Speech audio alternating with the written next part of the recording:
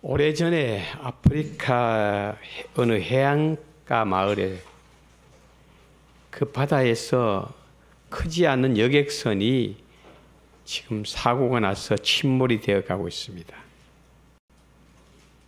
그때에 해변가 마을 사람 다 나와 보고 있습니다. 지금 구조해달라고 신호가 계속 옵니다. 동네 청년들이 고깃배를 가지고 노를 저어서 가서 지금 한 분, 두 분을 구조하고 있습니다. 다 구조한 줄 알고 이제 지쳐가지고 바닷가에 나와 누워있는 사람도 있고 앉아있는데 또 한 사람이 구조해달고 저 멀리서 손짓합니다. 아무도 가지 않습니다. 너무 힘이 빠져가지고. 근데 한 청년이 뻘떡 일어섰습니다. 갈 준비를 합니다. 근데 그 어머니가 옆에 있다가 바짝 붙잡고 절대 못 가. 너는 못 가. 너 아버지가 바다에 나가 죽고 너 형은 원양어선 타고 나가 몇 년째 소식이 없어. 이제 너마저 가서 잘못돼서 죽으면 나는 어떻게 살란 말이냐. 아우성을 칩니다.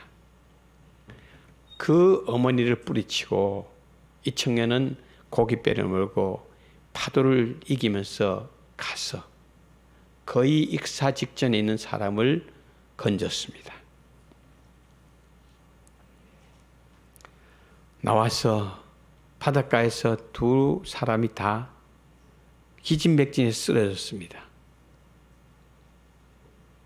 어머니가 그 장한 아들을 보고 내려다보다가 옆에 구조한 사람을 봤는데 깜짝 놀랐습니다. 소리를 쳤습니다. 내 큰아들이다!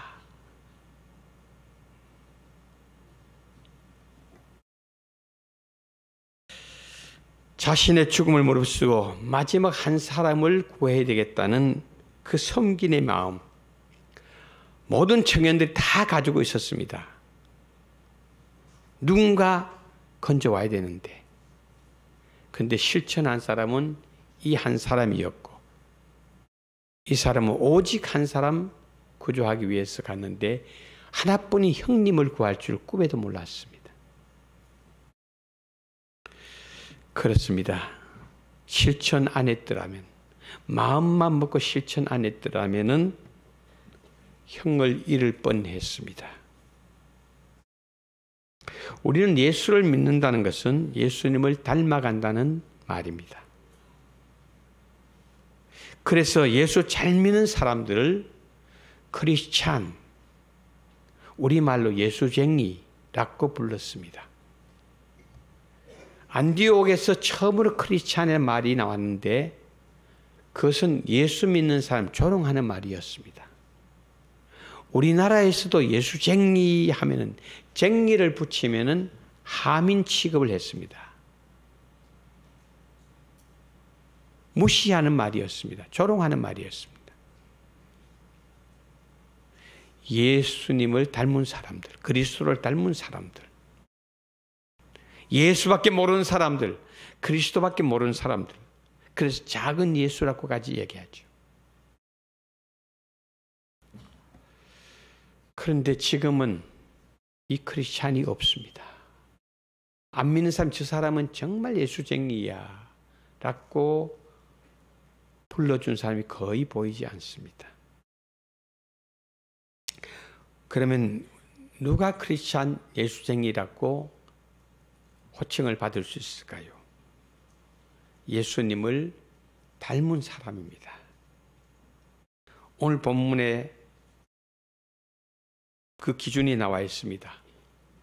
본문 앞서 앞부분에 읽지는 않았지만은 예수님께 어떤 분이 와서 인사청탁을 합니다.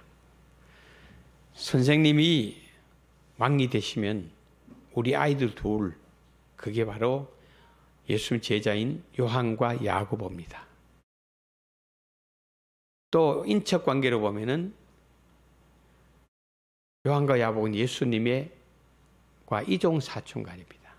예수님의 어머니하고 야곱 요한의 어머니는 형제간입니다. 자매간입니다. 그 이모 되는 사람이 아들 둘을 데리고 와서 부탁을 합니다. 남보다 낫지 않겠는가? 왕이 되면 하나는 우편에 하나는 좌편에 서열 1, 2번 자리를 이종 사촌들이 주라는 것입니다. 그 두 아들 데리고 왔습니다. 두 아들 보 그를 자신 있냐? 예. 뭔가 착각하고 있다. 세상 권력자는 서열 1, 2, 3을 마음대로 임명할 수 있지만 내가 말하는 나라는 그게 아니다. 내가 마음대로 하는 게 아니다.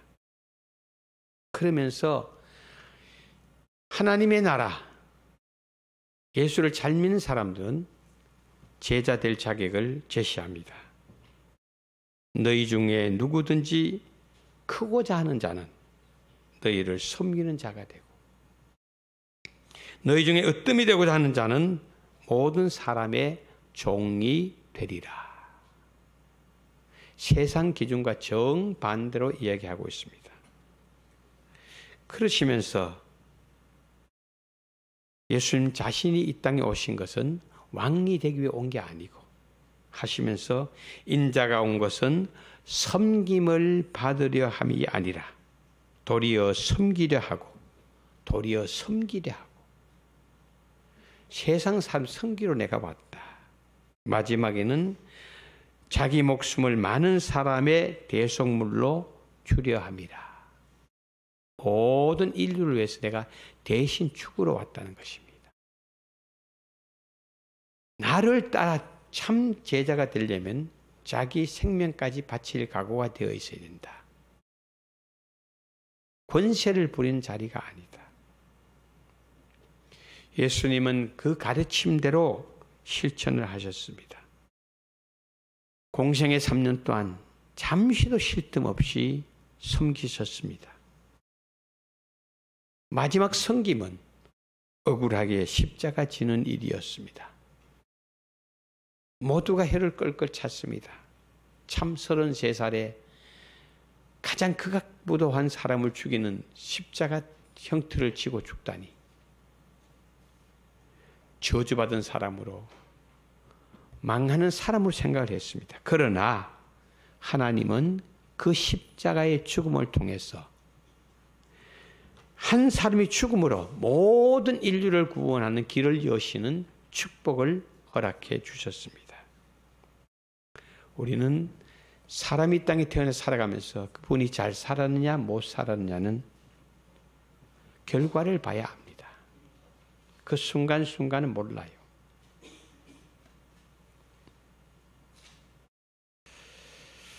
성경 속에 성김으로 축복받은 사람들을 이야기 많이 하고 있죠. 그 중에 열왕기상 17장 8절에서 16절에 사르밧 과부의 성김을 우리는 오늘 말씀드립니다.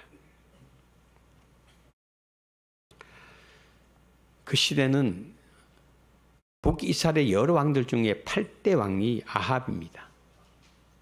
가장 악한 왕으로 이야기하고 있습니다. 그 왕후는 이세벨입니다. 가장 악독한 여자지요. 그때에 엘리야가 선지자로 활동할 때입니다. 이제 도저히 이스라엘이 하나님께로 몰아져서 바알을 섬기니까 왜 이세벨이 바알 섬긴 데 1등입니다. 왜 그러냐 하면은 이세벨 고향이 사르바시고 사렙답니다. 여러분 이스라엘 지도를 보면은 지중해 쪽으로 쭉 북쪽으로 올라가면은 시돈 두로가 나오는데 그 사이에 사르바시라는 마을이 있습니다. 그 지역이 발 본거지입니다. 그 지역이 바로 이세벨의 고향입니다. 이제 이스라엘 백성들이 도저히 회개하지 않으니까 엘리야 기도합니다. 하나님, 이들 고생 좀 해야 됩니다. 비 오지 않게 해주세요. 그랬더니 3년 6개월 비가 안 와요. 곡식이고 모두가 안 됩니다. 아합 왕 내외는 그리고 모든 신하는 엘리야 죽여야 된다. 엘리야를 붙잡아 죽여야 된다. 엘리야가 피할 장소가 없습니다. 이때 하나님은 엘리야에게 명령합니다. 너 힘들지만은 사르밧으로 가라. 거기 몸을 피해라. 아합의 칼날을 피해라. 거기는 이세벨의 고향입니다. 거기 하면 더 잡힐 수 있어요. 그래도 거리를 가라는 겁니다.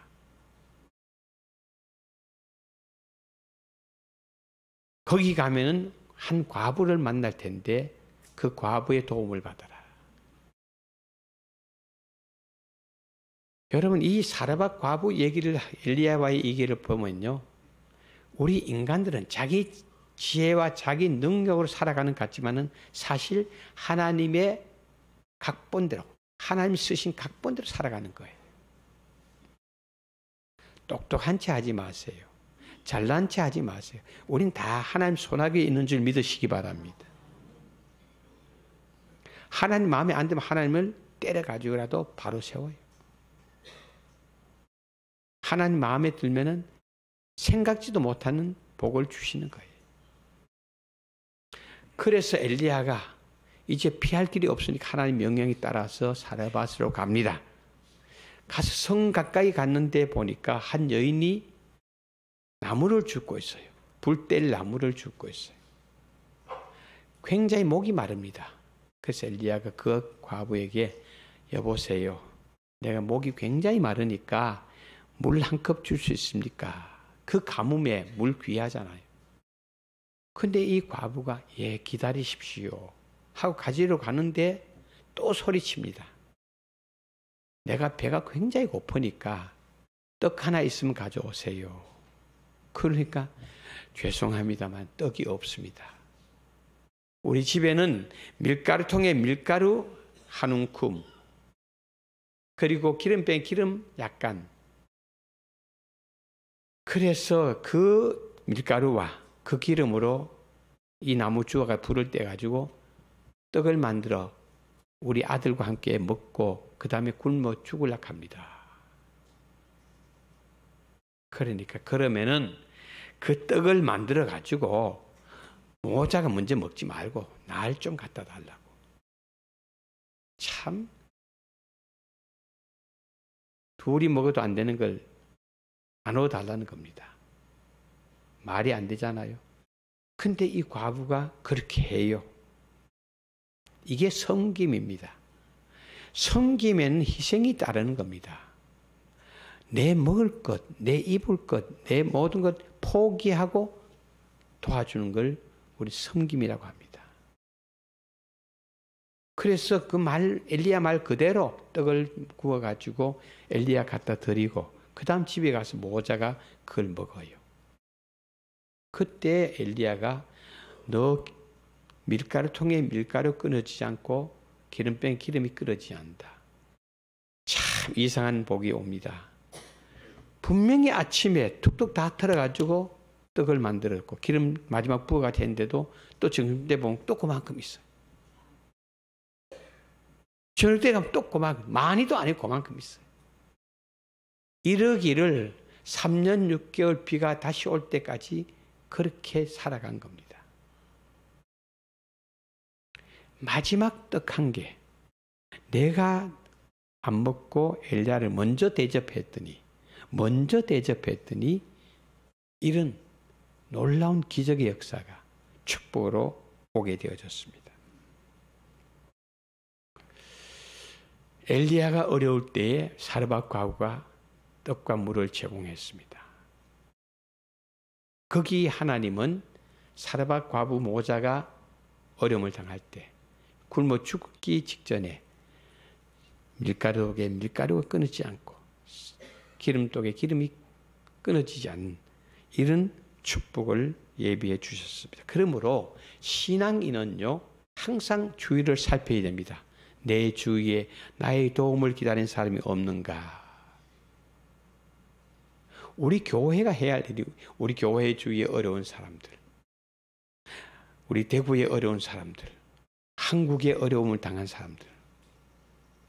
남의 일로 보지 말고 내가 우리 가정이 우리 교회가 우리 구역 식구가 도울 게 없는가 늘 그렇게 생각할 때 축복이 저절로 따라오게 되는 줄 믿으시기 바랍니다. 텔레비를 보실 때도 남의 일로 보시지 마시고요.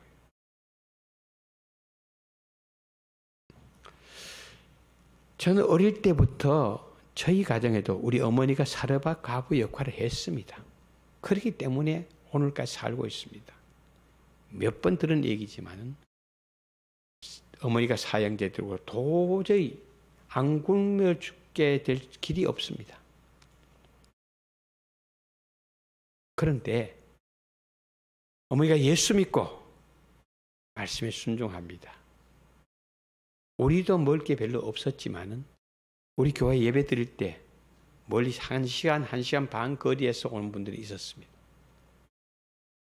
이분들 또 우리 목사님이 설교를 길게 해서 예배를 두 시간 드렸습니다. 한 시에 마칩니다.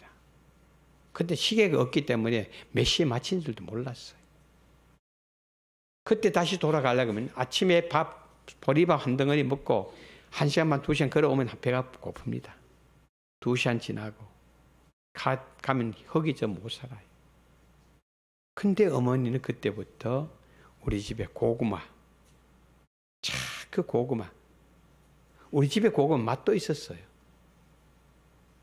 보리밥 아침에 바가지 이만큼 해놓고 적게는 3명, 많게는 7명 정도. 매주일 예배 마치고 우리는 그분들 붙잡아가지고 제발 식사하고 가라고. 그렇게 해서 식사인데 주위에 안 믿는 이웃들이 입이 삐죽삐죽해요. 저 집 구석 먹을 것도 없으면서 다 퍼준다고. 그런데 하나님께서 사라밥 과부의 밀가루통에 밀가루 떨어지지 않은 것처럼 우리 집에 고구마가 떨어지지 않았어. 1년 내내. 신기해요. 토지가 없어요. 산에 가서 산전을 해. 불을 찌르고 주워가지고 거기에 고구마를 심어요. 잘 돼요. 다른 데는 안 되는데 우리 집은 잘 돼요. 그래서 겨울, 가을 때면요. 고구마 구석에 장석이라 그래가지고 이렇게 쌓아놔요. 두 개를 쌓아놔. 1년 겨울 내내 그걸 삶아줘요. 그게 돈으로 지금 몇푼 되겠습니까? 그런데 그렇게 했더니 고구마가 끊어지지 않아요. 보리밥이 끊어지지 않아요. 배추잎도 없어, 배추김치도 없어가지고 새카만 무김치, 무짠지지요. 소금 많이 넣어가지고 무짠지. 그걸 먹고 정신 먹고 가면 좋은데 배고프던 차 먹으니까 식곤증이 오잖아요. 다 자요. 그럼 저녁까지 또 먹게 해요. 저녁 예배 드리고 가요. 그런데 하나님께서는 그 어머니 사르밧 과부 역할하는 그 어머니를 보시고 우리 사형제 굶어 안 죽게 하시고 장로 하나 목사 셋으로 살게 해주셨어요. 저는 어머니만 생각하면 진짜 그렇게 고마울 수가 없어요. 어머니가 사르밧 과부 역할을 했기 때문에 오늘 우리가 잘 살고 있구나.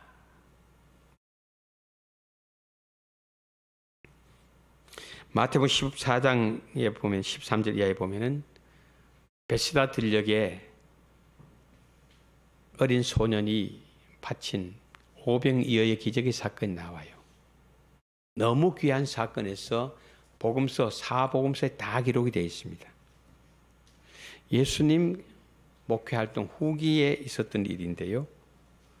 하루 종일 예수님 따라다 말씀 듣다 보니 시간 간 줄 몰라요. 그래서 벌써 저녁 때가 되었어요. 다 배가 고파요. 예수님도 배가 고프고 제자들도 배가 고파요. 그때 예수님 엉뚱한 얘기 하셔요. 제자들 보고 이 사람들 그냥 가면 굶어 죽는다. 허기져 죽는다. 뭐 좀 먹여서 보내라.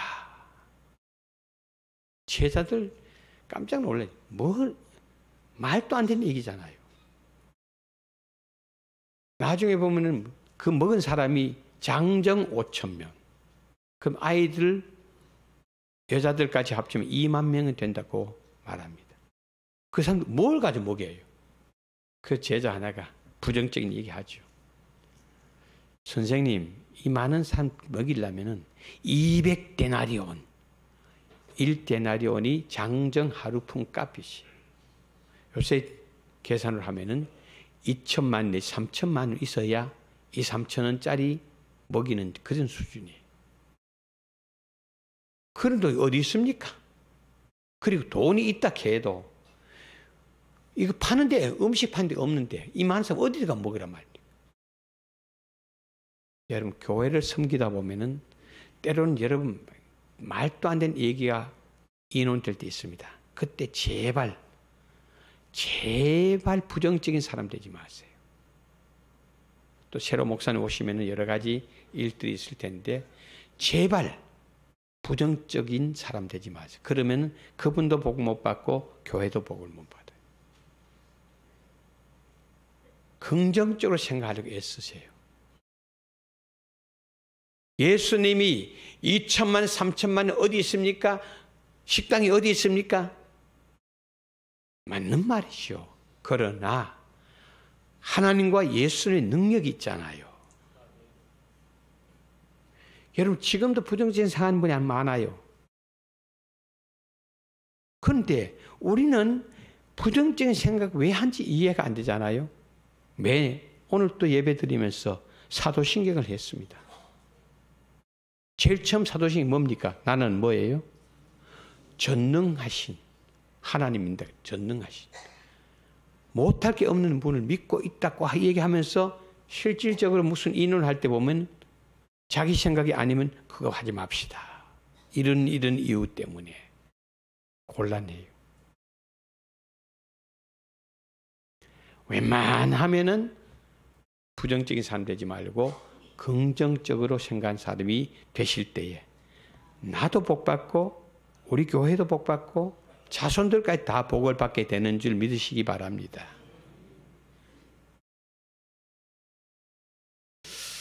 자, 이런 제자 부정적 이해할 때 예수님께서 이들에게 부정적인 사람 긍정적으로 바꿔주시기 위해서 일을 시작하십니다.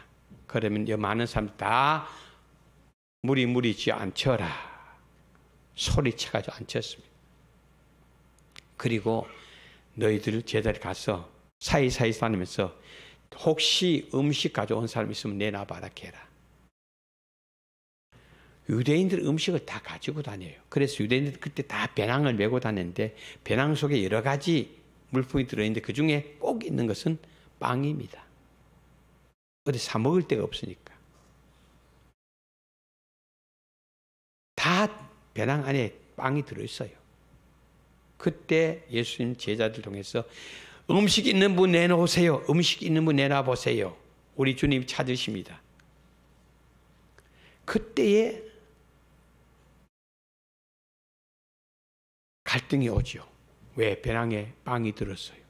이거 내놓으면 나는 어떻게 앞으로 어떡하지? 배고플 때 어떡하지? 내놓을까 말까? 내놓을까 말까? 그러다가 에이 모른 체 하고 있자 딱 있어.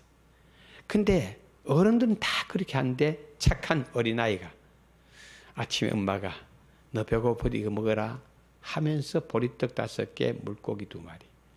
전이 보리떡 다섯 개가요. 왜 하필 보리떡 다섯 개일까? 빵 다섯 개가 아니 보리떡 다섯 개. 왜? 가난한 우리 어릴 때요. 본보리 개떡이라는 게 있어. 본보리 개떡. 욕이 아닙니다. 그게. 본보리 개떡. 보리쌀로 한 것도 아니고 보리쌀 찢다가 아직 껍질이 붙어 있는 이걸 가지고 떡을 만들어 먹는데 맛도 없고 씹은 맛도 없어요. 그래서 삿가리를 좀 집어 넣어가지고 하면 맛이 좀 있어요. 참 먹기 싫은 떡이 본보리 개떡입니다. 그런데 하필이면 예수님 믿게 바친 아이가 보리떡 다섯 개. 아우 그거 어떻게 먹었지? 제가 경험이 있기 때문에. 근데 그들은 가난한 집의 아이들 도시락이었어. 자기가 안 먹고 배고플 때 안 먹고 그걸 바쳤어요. 예수님께 그걸 들고 축복기도 하시고 이 작은 것으로 하나님 이 많은 사람 다 먹이고 남게 해 주옵소서. 아마 거기 사람들도 여러분처럼 아멘 아 했을 거예요. 이 작은 것으로 이 많은 사람 다 먹고 남게 해주세요. 그래도 아멘 안 하는 분이 있어요. 일어났는 일인데도 안 해요. 여러분, 아멘을 다 하고 난 뒤에 제자들 나오래 다 떼줘요. 버릇도 반쪽 갈라가 주고, 반쪽 갈라가 주고, 반쪽 갈라가 주고, 다섯 개다 줬는데 아직까지 있어요. 또 주고, 또 주고, 제자들이 가져가서 또 나눠주는데도 또 이만해지고, 나눠주는데 또 이만해지고. 또 그들이 옆에서 나눠주고, 나누는데 또 커지고, 커지고. 이렇게 해서 2만 명이 다 나눠 먹고, 고기도 그렇게 하고, 끝이 없어요. 다 배불리 먹은 뒤에 고기는 더러우니까 버리고 빵을 다 걷어보라. 남은 게 열두 강줄이에요. 열두 바구 여러분 어린 아이가 순수하게 예수님 말씀에 순종함으로 자기 희생을 각오합니다. 내 밥 점심 굶고 내 저녁 굶고 집에 가면 있지 하고 내놓은 그 성김이 몇 배입니까? 이 3천짜리밖에 안 될 그 도시락이 2천만 원, 3천만 원 됐어요. 만 배로 불어나는 만 배로. 축복이 만 배로 거 하나님의 축복은요, 상상을 초월해요. 사르바 가부의 축복이나, 우리 어머니의 축복이나, 고구마에 대한 축복이나, 어린 나이 바친 축복이나, 상상을 초월해요. 여러분, 섬김의 기준은요, 어떨 때 섬기느냐? 여러분, 혹시 교회에서 이제 뭔 인원하다가 돈 들어갈 일 인원하잖아요. 이번 이 일 하는데 돈이 얼마쯤 들어갑니다. 하고 얘기하면은 그때 믿음 있는 사람, 아, 이번에 그래 들어가면 내가 우리 가정이 얼마 해야 되겠다. 이 마음이 와요. 그 첫 번째 오는 마음이 하나님 주신 마음이에요. 앞으로 꼭 그걸 기억하십시오. 첫 번째 주는 마음이 하나님 주신 마음이에요. 그 결, 마음의 결정을 딱 하려고 그러는데 마귀가 와서 너 무슨 돈이 있나? 너 그 돈 있으면 이거 이거 너 집에 이렇게 쓸 일이 많은데 하면서 이런저런 이유를 대면서 얘기하는데 맞아 맞아 맞아 하다 보면 점점 액수가 줄어들어요. 그 교훈을 주는 그 이야기 하나 있는데 여러분 미국하고 캐나다 사이에 나이에가라 강이 흘러요. 거기 나이에가라 폭포가 유명하잖아요. 저는 거기 여러 번 가봤습니다. 왜? 우리 아이들이 나이에가라에서 20분 정도 떨어진 곳에서 학교를 다녔거든요. 버팔로 대학을. 늘 자주 거기에 놀러를 갔어요. 근데 나이가라 강 미국 쪽으로 쭉 차를 타고 가다 보면은 한참 가다 보면은 조그만 교회가 하나 나와요. 조그만 교회. 제가 교회 이름을 잊어버렸는데 조그만 교회가 나오는데 얼마나 작으냐. 문을 열고 24시 문이 열리는데 문을 열고 들어가 보면은 강단이 이렇게 하나 조그만 게 있고 그 앞에 여섯 명 안독돼 있어요. 여섯 명. 얼마나 작은 교회입니까? 여섯 명 안독돼 있는 교회.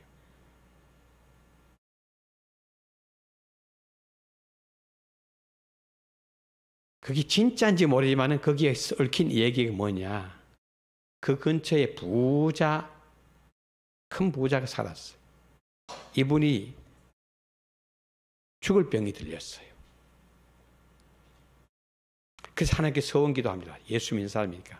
하나님, 이제까지 내가 인색하게 살았고, 하는 선한 사업에 동참 못했는데, 이 병 낫게만 해주시면 내가 큰 교회를 하나 큰, 큰은 빼고 교회 하나를 지어서 드리겠습니다. 그때 마음에 큰 얘기는 아니지만 마음에 멋진 교회 하나 바치고 싶었어요. 왜? 죽기 전에 돈 있으면 뭐 합니까? 하나님 병을 낫게 해주셨어요. 화장실 갈 때 바쁘지. 올 때 안 바빠요. 교회를 마음에 처음에는 큰 교회 짓고 싶었는데 돈이 아까워요. 큰 교회에서 점점 점점 적은 교회 적은 교회 적은 교회 하다가 마지막 결정한 게 고교회입니다. 여섯 명 들어가는 교회. 세계 관광객이 오면 다 거기 들려봐요. 의자에 다 앉아봐요. 거기 이 얘기를 들어요. 이름 부자 되지 말라는 거예요. 우리가 어려울 때 보면 항상 서원을 잘해요. 아, 내가 이게 해결되면 해결되면 가닥 해결된 지에 그대로 하는 분 그리 많지를 않습니다. 첫 번째 마음이 교회를 하나 짓겠습니다. 큰 교회를 짓겠습니다. 그걸 지어야 되는데 사탄이 자꾸 자꾸 인색한 마음 들어오게 해서 못 짓게 하는 겁니다.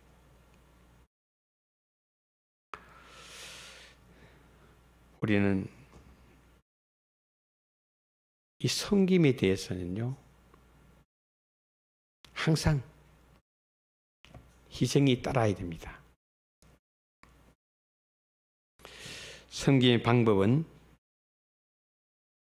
우리가 헌신이 첫 번째죠. 이 몸, 이 몸을 하나님 기쁜 예배 때 어떤 일에서 갖다 바쳐야 돼요. 이게 정말 신앙인에게는 가장 귀한 섬김이에요. 이 몸을 제물로 바치는 거예요. 그리고 같은 구역 식구들이나 가족도 안 나온 사람은 꼭 권해야 돼요. 예배를 잘 드린 분들은요, 절대로 망하는 법이 없어요. 그 예배 참여가 중요해요. 저는 우리 내단교에서 장례식에 대해서 말씀을 드릴게요. 제가 심호할 때 장례식이 있으면 강조를 많이 했습니다. 제발 입관 예배, 장례 예배, 하관 예배 많이 참석해 달라고. 그때는 적어도 3, 40명씩 참석을 했습니다. 그 지난 5년 동안에 이게 너무 약해져 버렸어요. 장례에 거의 제가 한 번씩 가보면요. 교육자하고 구역 지도자하고 한두 명 우리 운구위원 없으면요. 어떤 데는 영 예배 드릴 사람이 없어요. 안 됩니다. 다 밥 모으면 어쩔 수 없지만은 중직자들부터 장례 예배만은 여러분 많이 참석하십시오. 왜냐하면 가장 슬픔을 당하고 또 안면삼이 많이 와고 보잖아요. 그때 교회 다니는 분 예배 장례 이렇다고 쫙 보여주면 저절로 그게 전도가 되고 저절로 그게 예수 믿고 싶어지는 마음이 생기는 거예요. 어느 집사님 하나가 자기 장, 자기 집에 장례가 났는데 너무 안 오니까 저인데 그러더라고요. 목사님, 저는 이제부터 우리 교 장례하면 꼭 참석해 보겠습니다. 우리 장례 너무 안 오니까 참 섭섭하대요. 여러분, 앞으로 장례 정말 슬픔 당한 가정에는요, 위로가 되고 또 힘이 됩니다. 헌, 헌물, 헌금, 여러분, 온전한 11조를 꼭 드리십시오. 그래야 복을 받아요. 감사하십시오. 특별 헌금 필요할 때 하십시오. 이 작은 것 같지만 아니에요. 과부의 엽전 두잎이 예수님 칭찬하시죠. 절대 이거 몇 분 안 되는 거 생각하지 마시고요. 부자와 과부 엽전도 있는 걸 보잖아요. 제자들은 다 부자가 쫙 넣는 걸 보고 부러워했어요. 근데 우리는 우리 인간들은 사람들은요 단순 비교를 해요. 많이 넣었구나. 땡그랑 땡그랑 두 개밖에 안 넣었구나. 아니 하나님 보실 때 예수님 보실 때는 프로테이지를 봐요. 저분 가진 게 얼만데 몇 프로. 저 과부는 둘이 넣었지만은 전 재산 다 넣었다. 축복이 달라져요.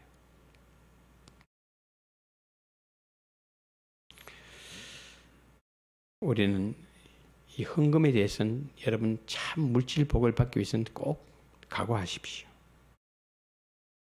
시간, 시간적인 헌신, 우리 쪽에서 시간을 바치십시오. 그래서 예배 드리게 하기 위해서 우린 새벽 기도도 두 번 했죠. 5시, 6시 두 번 했어요. 왜? 5시 못 나오면 6시 나오고 6시 못 나오면 5시 나오게 하려고. 1, 2, 3부 왜 합니까? 한번 모이면 되지. 시간이 안 맞는 분 나오게 하기 위해서 그렇게 합니다. 중보기도 헌신, 중보기도 섬김 너무 귀한 거예요. 다른 사람들 위해서 계속 이름 부르면서 기도하십시오. 별것 아닌 같죠? 엄청난 결과가 따라와요. 엄청난 축복이 따라와요. 내 중보 기도 대상자들에게 변화가 오고 그 다음에 기도한 나에게 엄청난 축복이 따라와요.